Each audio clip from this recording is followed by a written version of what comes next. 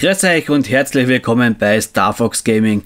Jetzt geht's ans Eingemachte, wie meine Oma gesagt hat. Ich habe die Patch Notes für euch und die haben es in sich in dieser Season 6.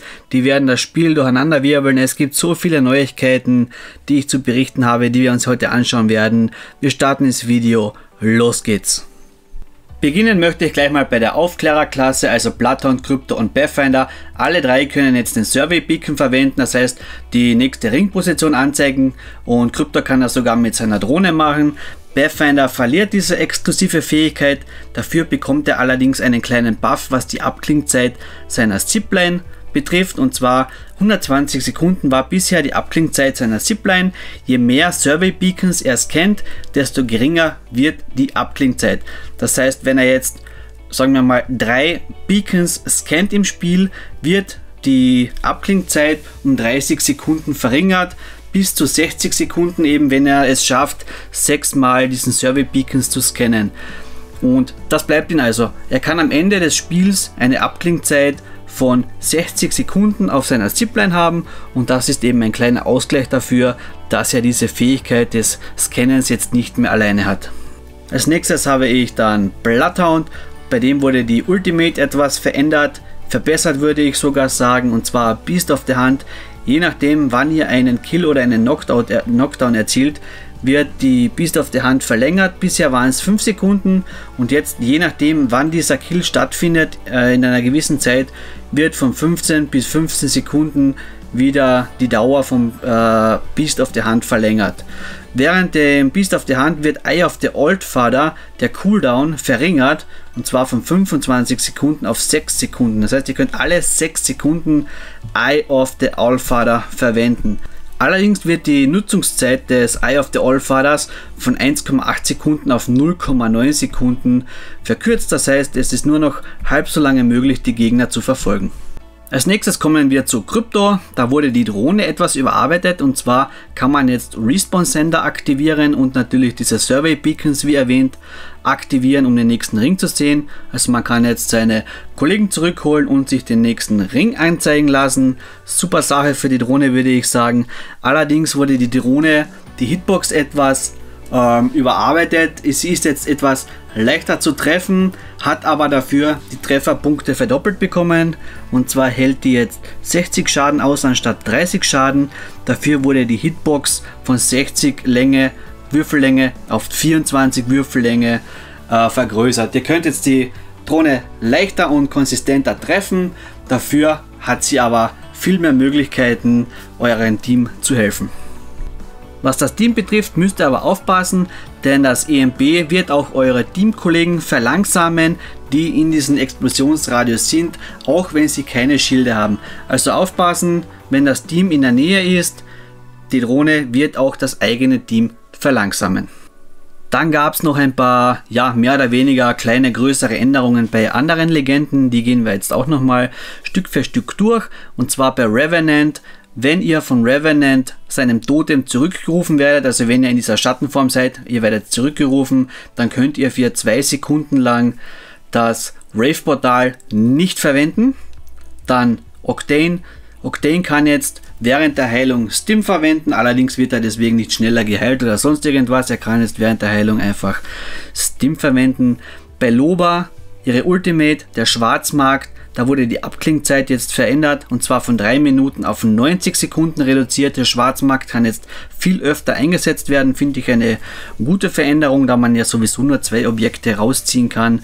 Das geht, denke ich mal, ganz gut in Ordnung. Gibraltar, der wurde allerdings heftig genervt, würde ich mal sagen. Und zwar seine äh, Bombardement-Fähigkeit, seine Ultimate wurde von 3 Minuten auf 4 Minuten 50 erhöht.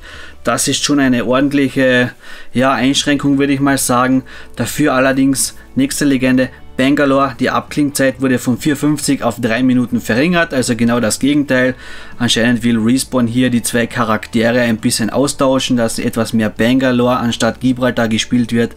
Und dann haben wir noch Watson, und zwar Watsons Ultimate kann jetzt die äh, Gasfässer von Dr. Caustic abfangen. Das heißt, wenn er jetzt ein Gasfass Richtung Pylon schmeißt, dann wird dieses Gasfass zerstört.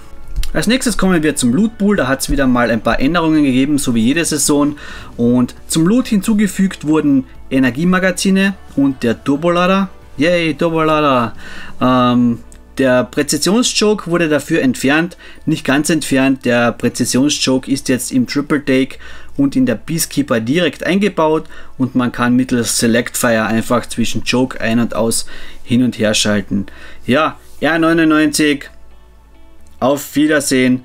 Die R99 wurde entfernt und ist jetzt eine Care-Paketwaffe. Mir gefällt das, die wurde viel zu viel gespielt, die ist mir schon richtig auf die Nerven gegangen. Das passt schon so, finde ich. Dafür wurde der Schaden von ihr etwas erhöht, von 11 auf 12. Die Magazingröße wurde erhöht auf 32 Schuss und die Munitionsreserve, wenn er sie aufklappt, ist auf 160. Und dafür wurde allerdings die Devotion wieder in den normalen Loot Pool zurückgenommen. Natürlich wurden auch die Goldwaffen wieder etwas angepasst und zwar entfernt wurde die Longbow, die Hemlock, die Spitfire, die EVA 8 und die RE45. Neue Goldwaffen dafür sind jetzt die Devotion, die Mastiff, die Triple Take, die Flatline und die Volt. Also gleich mal die Volt, meine neue hoffentlich Lieblingswaffe, gleich mal in Gold zu haben und zu finden. Finde ich gut, dass hier immer etwas geändert wird, bringt Abwechslung ins Game. Bei der Munition wurden auch ein paar Änderungen vorgenommen. Das heißt, die Munitionsgrößen, wenn er die Munition aufklaubt, wurde etwas verändert. Und zwar bei den äh, Scharfschützengewehren, also die Scharfschützenmunition. Da, wenn er jetzt Scharfschützenmunition aufnimmt vom Boden, habt ihr jetzt nicht mehr 8 aufgenommen, sondern 12 aufgenommen und die Stapelgröße in Inventar wurde erhöht von 16 Schuss auf 24 Schuss. Das heißt, wir haben jetzt wieder mal 24er Stapel von Scharfschützenmunition im Inventar, können also mehr Scharfschützenmunition mit herumtragen. Bei der Energiemunition wurde allerdings verringert und zwar von 30 Schuss auf 20 Schuss.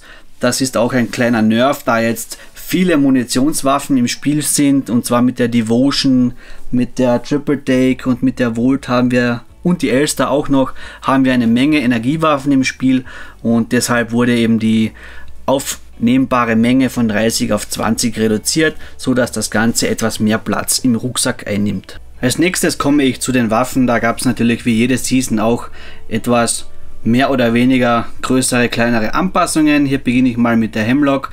Im Burst-Modus hat die jetzt etwas weniger Rückstoß und man kann etwas schneller schießen. Das heißt, die Burst-Pause wurde etwas verringert. Die Charge Rifle braucht nun zwei äh, Munition pro Schuss anstatt ein Munition. Dafür hat allerdings die Magazingröße zugenommen von 4 auf 8 Schuss. Also bleibt im Prinzip alles gleich. Ich denke mal, das ist mit der Munitionsgröße, die man äh, jetzt aufsammeln kann, einfach angeglichen. Die Waffe wird gleich bleiben. Triple Take bekommt einen kleinen Buff. Und zwar kann die jetzt etwas schneller schießen. 1,25 war die äh, Feuerrate zuerst. Die ist jetzt auf 1,4 gestiegen. Dafür wurde allerdings die Magazingröße erhöht. Hier seht ihr die Nummern 5 auf 6, 6 auf 7, 8 auf 9 und so weiter. Und natürlich ist das Joke Hop-Up in die Triple Take jetzt eingebaut. Ihr müsst kein Joke mehr aufsammeln, sondern einfach nur noch den äh, Select Fire drücken. Ihr könnt mit, äh, ich habe auf der Tastatur die Taste B, ihr könnt jetzt einfach zwischen Joke und den normalen Schuss hin und her wechseln. Das heißt, ihr habt jetzt ein Sniper-Gewehr und wenn ihr B drückt, habt ihr eine Shotgun auf kurze Distanz. Das gleiche gilt natürlich auch für die Peacekeeper, die hat den Choke jetzt auch eingebaut. Ihr könnt hin und her wechseln, wie ihr es wollt. Dann die Spitfire, hier wurde der Rückstoß etwas angepasst. Ebenso bei der Havoc wurde der Rückstoß überarbeitet. Bin ich mal gespannt, wie der jetzt sein wird. Ich bin mit der Havoc, Havoc noch nie so gut zurechtgekommen. Gekommen. Vielleicht wird das jetzt etwas leichter für mich. Dann große Überraschung diesmal wirklich. Mosambik hat jetzt eine Magazingröße von 4 anstatt 3. Finde ich nice. Vielleicht wird die Mosambik jetzt etwas mehr äh, zu verwenden sein, etwas mehr spielbar sein. Dann die B2020, auch eine der eher schwächeren Waffen im Spiel. Da wurde der Schaden erhöht von 13 auf 15. Das ist doch recht ordentlich. Und dafür wurde aber der Hammerpoint Schaden, also dieser Hammerpunkt Schaden, etwas reduziert. Mal schauen, wie sich das dann auf die Waffe auswirkt. Hammerpunkt hat man jetzt eh nicht immer dabei, aber der generelle Schaden wurde doch etwas erhöht und die Magazingröße wurde erhöht von 10 auf 12, von 13 auf 14, von 15 auf 16 und 18 18 blieb gleich beim Purple Magazin. Also B2020 ein ordentlicher Buff, vielleicht wird die jetzt auch etwas mehr gespielt. Dann haben wir noch die Sentinel. Hier braucht man jetzt nur noch ein Schild, also eine Schildzelle, wenn man einen goldenen Schild-Armor trägt. Das heißt, wenn ihr jetzt eben den, den Gold-Armor habt, braucht ihr nur noch eine Schildzelle anstatt zwei Schildzellen. Und das ist ein kleiner, aber netter Buff für die Sentinel. Zu guter Letzt haben wir noch die Prowler. Hier wurde auch der Rückstoß im Burst-Modus etwas angepasst, sollte etwas leichter zu kontrollieren sein, die Waffe. Dafür wurde der Rückstoß im Automodus etwas erhöht. Die Waffe wird also etwas schwerer zu kontrollieren sein, wenn wir im Automodus voll drauf halten.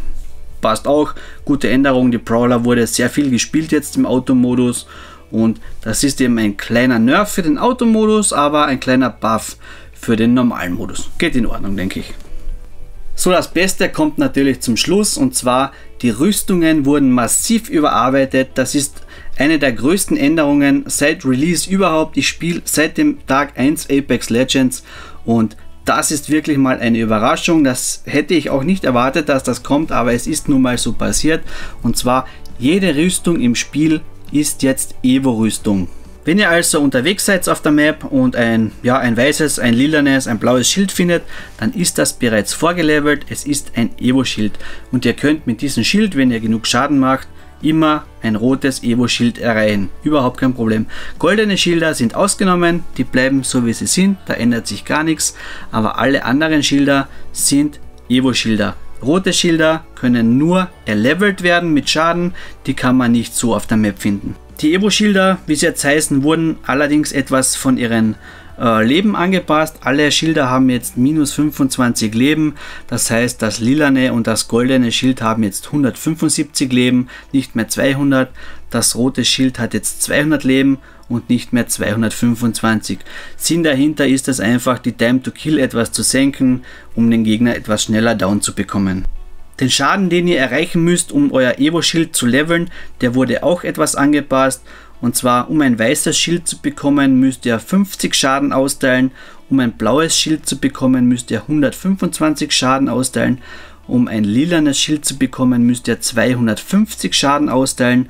Und um das Schild auf Rot zu bekommen, müsst ihr 500 Schaden austeilen. So, und das war mein ja, langes Video zu den Balance Changes. Ich hoffe, es hat dir gefallen. Wenn es dir gefallen hat, lass mir bitte ein Abo da, wenn du noch nicht hast. Like das Video, teile es auch gerne weiter. Ich mache separat noch ein Video zur Volt natürlich, zur neuen Waffe. Ich mache separat noch ein Video zu den Holo Sprays und ich mache natürlich auch separat noch ein Video zu den neuen Quests, die dann kommen werden. Und zum Crafting-System natürlich, das ist jetzt zu viel, das packe ich jetzt hier nicht mehr rein. Und ja, wenn ihr das nicht verpassen wollt, schaut einfach demnächst wieder rein, wann es hochgeht. Lasst ihm ein Abo da, wenn ihr das nicht verpassen wollt. Ciao, bis zum nächsten Mal, euer Starfox.